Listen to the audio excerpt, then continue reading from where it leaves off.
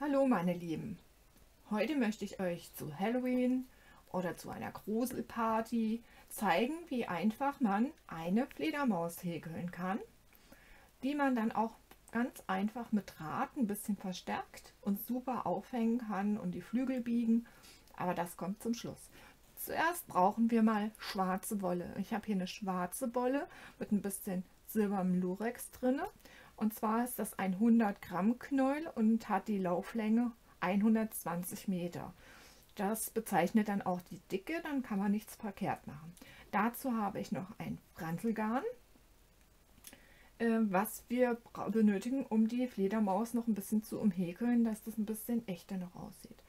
Und die Häkelnadel sollte zwischen 4 und 5 liegen. Was ihr zu Hause habt, eine 4er, eine 4,5er oder eine 5er, das ist okay. So, wir fangen an und häkeln zuerst einen Kreis. Wer schon öfters bei mir reingeguckt hat, ähm, das ist auch in der Häkelschule nochmal ganz einfach erklärt oder bei den Windlichtern. Zuerst machen wir vier Luftmaschen und schließen die zu einem Ring. Dann machen wir zwei Luftmaschen, eins, zwei und häkeln in diesen Ring, weil wir vier Luftmaschen haben, die doppelte Menge an festen Maschen. Also 8. 1, 2, 3, 4, 5, 6, 7 und 8. Schön reinquetschen, das funktioniert. So, und die ersten beiden Luftmaschen ziehen wir nur die Öse durch und durch die hintere Öse, dann haben wir die erste Reihe geschafft. Zum Anfang immer zwei Luftmaschen, eins, zwei und jetzt müssen wir in jede feste Masche zum Zunehmen zwei feste Maschen machen. Immer zwei. In einem Kreis wird ganz, ganz regelmäßig zugenommen. Also, wir häkeln in der ersten Reihe in jede feste Masche zwei. Im zweiten Kreis hier herum müssen wir eine häkeln und in die nächste zwei Maschen. Dann wieder nur eine, eine feste und zwei. In der darauf folgenden Reihe sind es dann einmal eine, nochmal eine und dann zwei. Und immer wiederholen. 1, 1, 2, 1, 1, 2. Darauf in der Reihe sind es dann 1, 1, 1 und dann 2. 1, 1, 1, 2. Und darauf in der Reihe, man kann sich denken, ist es dann 4 mal eine, also 1, 1, 1, 1 und dann 2. Und wenn wir das und dann schließen wir die Reihe wieder mit einer Schlaufe. Wir gehen durch die ersten zwei Luftmaschen, ziehen die Schlaufe heraus und schließen sie so. Und das machen wir jetzt erst einmal. Also wir häkeln, bis wir sind bei 4 mal eine und dann zwei feste in die vorangegangene feste Masche. Und dann ist unser Kreis so groß, dass wir mit den Ohren weitermachen können. Also ich zeige noch mal ganz kurz die erste, also eins und dann zwei. Eins und dann zwei. Ist ein bisschen schlecht bei schwarz zu sehen. Aber wie gesagt, die Häkelschule ist da oder bei den Windlichtern mal reingucken. Da wird das ganz einfach erklärt und es ist eine helle Wolle, das sieht man es besser, aber unsere Fledermaus ist schwarz. Und dann müssen wir hier auch mit schwarz häkeln. Wie gesagt, wir machen jetzt da unseren Kreis fertig mit viermal eine feste Masche und dann nehmen wir zwei zu.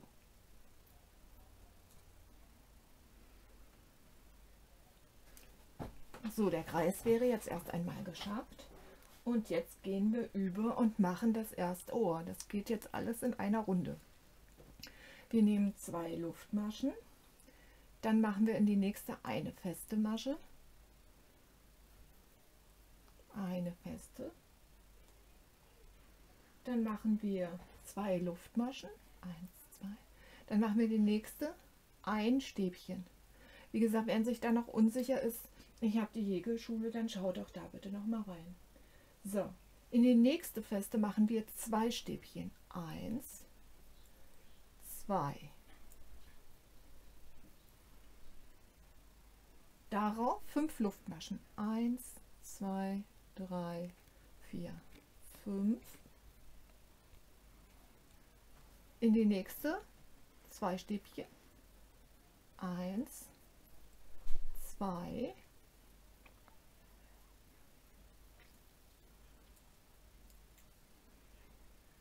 dann ein Stäbchen und eine feste Masche.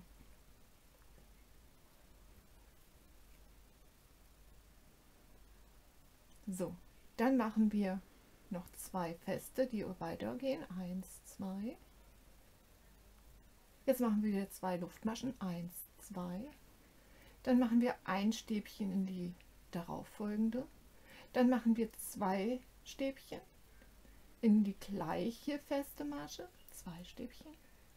So, jetzt auf fünf Luftmaschen. Eins, zwei, drei, vier, fünf. In die weiterführende feste Maschen, nächste wieder zwei Stäbchen. Eins, zwei. Dann ein Stäbchen in die nächste und eine feste. Äh, ein Stäbchen noch. Nein, da war eine feste Verzeihung. Wir hatten das Stäbchen ja schon. Und wir haben die Ohren. Die werden dann noch ein bisschen zusammengezogen beim Umhäkeln.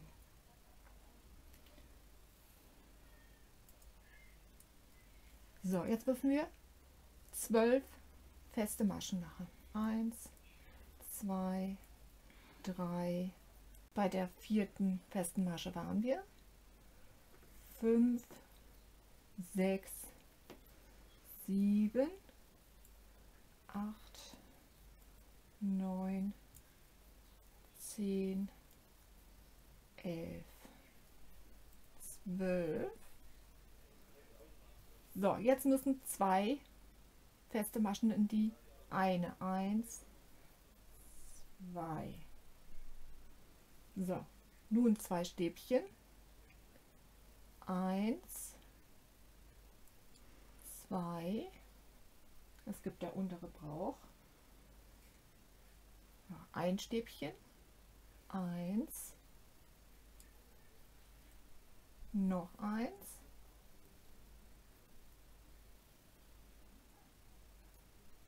So, jetzt machen wir ein Doppelstäbchen.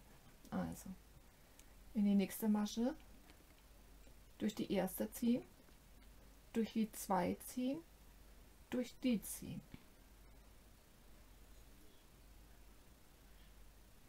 Wir drehen es und machen da hinauf auf das Doppelstäbchen noch ein Stäbchen. Ein Umschlag, hinein, Stäbchen. So. Dass wir so eine richtig schöne Spitze gehen.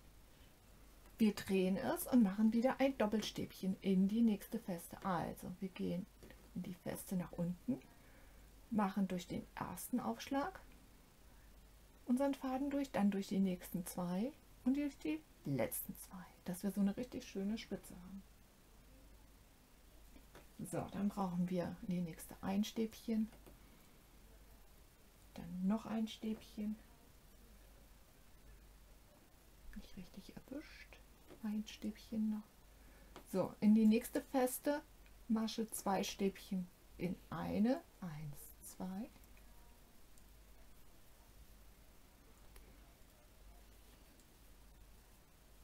und dann eine feste. So, und das wäre jetzt, wir haben die Ohren gemacht und die Spitze nach unten. Und jetzt häkeln wir 13 Maschen nach oben.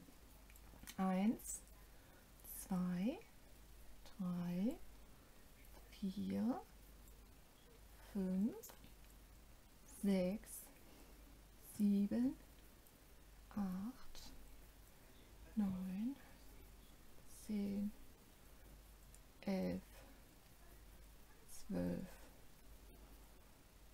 dreizehn und ziehen es mit einer Schlaufe fest. Also wir machen jetzt keine, kein äh, keine feste Masche, sondern wir, wir ziehen uns nur die Schlaufe heraus und ziehen es dadurch. Und das ist jetzt erstmal der Körper unserer Fledermaus.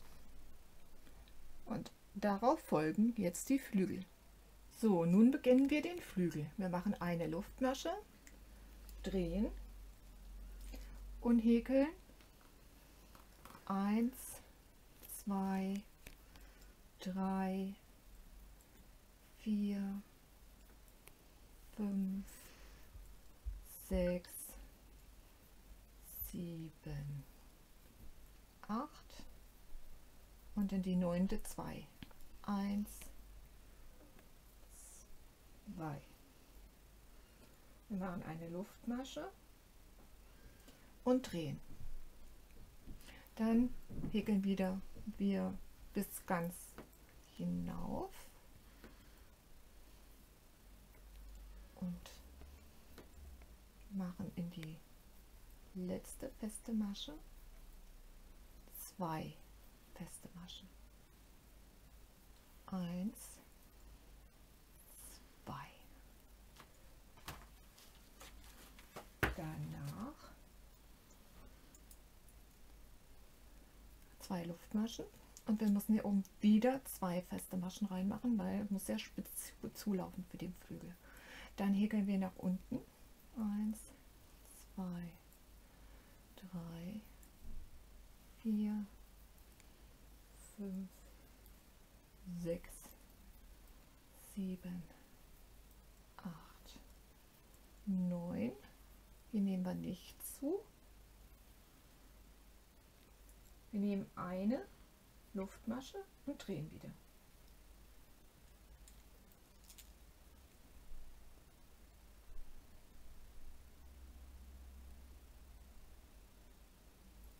Wir häkeln wieder nach oben. Wir stechen nicht in die erste ein, sondern in die zweite. Und häkeln nach oben. Und machen wieder in die letzte feste Masche 2 hinein. So, dann haben wir gleich deutlich die Zunahme zu einer Spitze. Eins, zwei.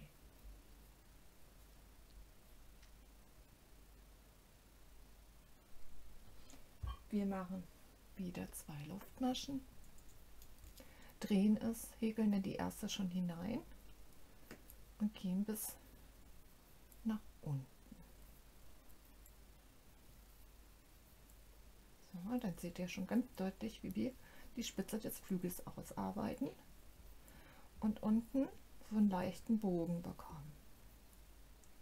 So, wir häkeln nur bis zur vorletzten ziehen es gut fest, drehen es und häkeln ohne die Luftmasche nach oben. Eins, zwei, drei, vier, fünf, sechs, sieben, acht, neun, zehn.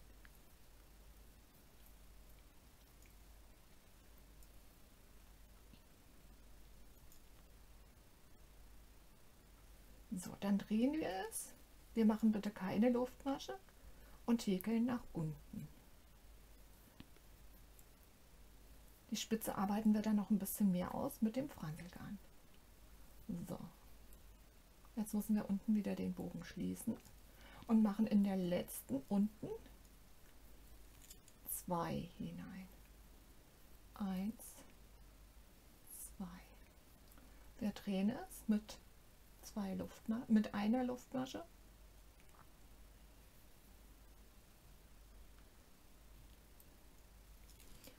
Und machen in die erste eins, gleich bei den Luftmaschen und in der zweiten. Dann häkeln wir nach oben und häkeln die letzte nicht mit, weil wir ja jetzt oben die Spitze wieder abnehmen müssen. So, die lassen wir frei. Wir drehen es, machen keine Luftmasche, weil so eine richtig schöne Spitze geben und häkeln nach unten. Eins, zwei, drei, vier, fünf, sechs, sieben und machen da hinein zwei Stück. Eins, zwei. Ihr seht, wir haben die Spitze schon. Und dann machen wir eine Luftmasche und stechen in die zweite ein. Und Häkeln nach oben. Zwei, drei, vier, fünf, sechs, sieben. Bei sieben halten wir an. Drehen es. Machen eine Luftmasche, zwei Luftmaschen und stechen die unten mit zwei Maschen. Eins, zwei. Dann dreh, häkeln wir wieder nach unten. Drei, vier, fünf, sechs. In die letzte nicht. Wir drehen es, machen keine Luftmasche und häkeln nach oben. Eins, zwei, drei, vier, fünf, sechs. Jetzt machen wir noch mal zwei. Eins, zwei, zwei Luftmaschen. Eins, zwei. Die erste wird nicht geegelt. Wir stecken, stechen in die zweite. Eins, zwei, drei, vier, fünf, sechs. Wir drehen es. Eine Luftmasche. In die zweite. Eins. So. Noch eins. Eine feste. Jetzt machen wir ein Stäbchen. Eins. Noch eins. Zwei. Wir machen drei Luftmaschen. Eins, zwei, drei. Wir machen ein Stäbchen und noch ein Stäbchen. Wir machen eine feste und wir machen eine Öse. Das heißt, wir stechen ein und ziehen es durch. Und unser Fledermausflügel der einen Seite ist fertig. Wir schneiden großzügig ab und ziehen es durch. Und jetzt müssen wir den anderen Flügel anfangen, aber achtet bitte darauf, dass ihr beim Ohr anfangt. Seitengleich wie diese beim Ohr angefangen und das machen wir jetzt erst einmal. Wir haben nun die Flügel fertig gehäkelt und umhäkeln jetzt mit dem Fransengarn. Das gibt einen ganz toller Effekt. Wir fangen an beim unteren Körper und dann kann ich auch gleich mal zeigen, wie einfach es ist, eine Wolle anzuhäkeln. Wir gehen mit der Häkelnadel durch die feste Masche, nehmen unser Garn in der Schlaufe, ziehen es durch und häkeln beide Fäden zu einer Luftmasche. Dann lassen wir einen Faden hängen, den halten wir fest und fangen an mit festen Maschen zu umhäkeln. Beim Umhäkeln ist es ganz, ganz wichtig, dass man sehr locker häkelt, weil das Garn wesentlich dünner ist als unsere schwarze Wolle, die wir vorab hatten. Und dann, wenn wir an die Ecken kommen, in jede, in die feste Masche, die die Ecke bedeutet, drei feste Maschen reinmacht. Ja, gleich ist es soweit. Weil wir brauchen ja das Spiel, dass die Fransenwolle sich schön um die Ecke anschließt. So, jetzt haben wir hier eine Spitze, eine Ecke und dann machen wir drei rein. Eins, zwei, drei und gehen in die nächste. Und dann sehen unsere Ränder auch ganz ordentlich aus. So, hier wieder drei. Eins, zwei, drei. Dann kommen wir gleich zur vorderen Spitze vom Flügel, wo wir die Luftmaschen gemacht haben. So. Da sind unsere Luftmaschen.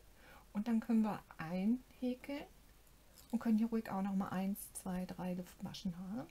Dann gehen wir mit einer festen hinein und wem das Loch nicht gefällt, der kann sich jetzt einfach zuhäkeln. Wir nehmen vom einen Stäbchen ein Fädchen, vom anderen und machen eine feste drauf, dann wäre das zu und dann häkeln wir weiter als rundherum. Es ist halt wichtig, dass er bei den Ohren auch nochmal drei Luftmaschen reinmacht in das Mittelteil der drei festen. Hier haben wir wieder eine Spitze. Jetzt machen wir eins, zwei, drei. Und gehen um die Ecke nach unten. So, Moment. So, jetzt sind wir unten. Da könnt ihr ruhig auch zwei, drei reinmachen. Das ist euch überlassen, weil die Fransenwolle kaschiert ja unwahrscheinlich Ecken und Kanten. Und das sieht dann wirklich ganz ordentlich aus, auch wenn wir es nicht so hinbekommen haben mit dem Abnehmen. Jetzt haben wir hier wieder die Spitze vom Flügel. Drei feste Maschen hinein. Jetzt häkeln wir wieder weiter nach unten. So, und dann zeige ich euch noch ein Ohr. Was jetzt gleich kommt. So. Und jetzt kommt unser Ohr. Und nach oben. So. Dann haben wir unser Ohr. Da gehen wir mit einer festen hinein und hier müssen wir zuhäkeln. Wir gehen ins obere Stäbchen mit einem Faden und ins zweite Stäbchen mit einem Faden, ziehen uns eine Öse raus und machen eine feste Masche. Dann gehen wir zurück in die Öse, in die Spitze vom Ohr, machen eine feste, noch eine feste, machen drei Luftmaschen, eins, zwei, drei, kommen zurück in die Öse vom Ohr, machen eins, zwei feste und kommen dann ins Köpfchen. Und das nächste Ohr machen wir genauso. Ich zeige es gerade mal. So, wir haben schon ganz ordentlich den tollen Flügel umhäkelt. Ein Ohr. Wir machen es fertig, seidengleich. Und dann würden wir die Augen aufnähen. Ich habe hier Strass, Augen in Pink, knallrot ist auch toll. Wer keine Strassaugen hat, kann vielleicht rote Knöpfchen nehmen. Oder rote Perlen. Oder es geht auch mal ein roter Kreis aus Papier. Wenn ihr sonst nicht da ist. Ganz toll kommt dann auch Hologrammfolie in Rot. Die glitzert sehr, sehr schön. Das nähen wir an. Ähm, wenn eure Steine keine Ösen haben zum Annähen, einfach festkleben mit Heißkleber. Das hält auch bombig. So, dann zeige ich euch noch, wie wir die Fledermaus zum Fliegen bringen. Und zwar habe ich auf der Rückseite Draht eingearbeitet. Das ist einfach so ein ganz normaler umwickelter Häkeldraht. Die erste. Also wir legen uns den Draht auf, auf die Fledermaus und schneiden ein bisschen größer ab. Dann machen wir eine kleine Öse am Anfang. Dann nehmen wir unsere Fledermaus, wir brauchen zwei davon und fädeln es in der Wolle auf, so dass es auf der richtigen Seite, auf der rechten Seite mit den Augen nicht durchkommt. Das muss man nicht sehen. So, und fädeln das hier auf, in die Wolle rein und raus, ziehen es durch. Wer sagt, das gefällt mir nicht so mit dem Grün, der kann dann einfach einen schwarzen Edding nehmen und sich den Draht ein bisschen anmalen. Das sieht man dann auch nicht. So, und das fädeln wir auf bis zum Flügelrand. Als hoch runter durchgezogen. Ihr könnt auch die Abstände wesentlich geringer machen, aber soll jetzt ein bisschen schneller gehen, dass ihr seht, wie es funktioniert. So, Draht ist durch. Wir drehen uns hier wieder eine Öse, damit der nicht durchrutscht. So, jetzt haben wir die Fledermaus versteift und können die biegen, wie wir sie brauchen, die Flügel. So. Und dann könnten wir hier hinten noch ein Draht anbringen damit unsere Fledermaus fliegt. Ihr könnt das natürlich auch mit einem transparenten Faden machen. Ich mache das ganz gern mit Draht, weil dann kann man es schön biegen. Also die zwei und verdrehen. So, dann rüber. Auch wieder in beide, sonst kippt die. Und mit einer großen Öse verdrehen. So. Dann zieht man es ein bisschen hoch. So. Und dann kann man sich die Fledermaus kann man fliegen lassen. Ich hoffe, euch hat das Video gefallen von meiner Fledermaus. Und ich würde euch dann auch noch zeigen, wie die tollen Windlichter gehen mit dem kleinen Geist. Und das in einem anderen Video. Ansonsten vielen Dank, dass ihr reingeschaut habt. Und bis zum nächsten Mal. Ich grüße euch. Tschüss.